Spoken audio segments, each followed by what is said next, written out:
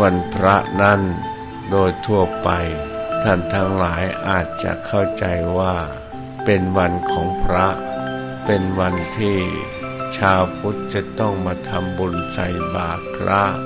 ฝ่ายอุบาสกอุบาสิกา ก็จะต้องมาถือศีลปฏิบัติธรรม พระสัมมาสัมพุทธเจ้า ได้แสดงหลักที่เราเรียกกันว่าคุณสมบัติ ของความเป็นอุบาสกบาสิกาไว้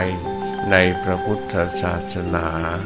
ซึ่งมีอยู่ถึงห้าประการด้วยกัน เช่นประการแรก ผู้ที่เป็นอุบาสกอุบาสิกา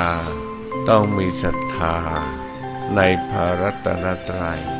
ปฏิญญาณตนเองว่านับถือว่าเป็นที่พึ่งที่เคารพไม่มี สิ่งอื่น นอกจากพระรัตนตรัย เป็นที่พึ่งที่เคารพของตนเอง ดังคำที่ท่านทั้งหลาย สวดกันอยู่เป็นประจำว่า นัตถิเมสารนังอัญญัง พุทโธเมสารนังวรัง พระพุทธเจ้าเป็นที่พึ่งของข้าพเจ้า ข้าพเจ้า มีพระพุทธเจ้า เท่านั้นเป็นสารณะเป็นที่พึ่ง นัตถิเมสารนังอัญญังธรรมโมเมสารนังวรัง ข้าพเจ้าไม่มีที่พึ่งอื่น ข้าพเจ้ามีพระธรรม อันประเสริฐเท่านั้นเป็นที่พึ่ง นัตถิเมสารนังอัญญังสังโฆเมสารนังวรัง ข้าพเจ้าไม่มีที่พึ่งอื่น ข้าพเจ้ามีแต่พระสงฆ์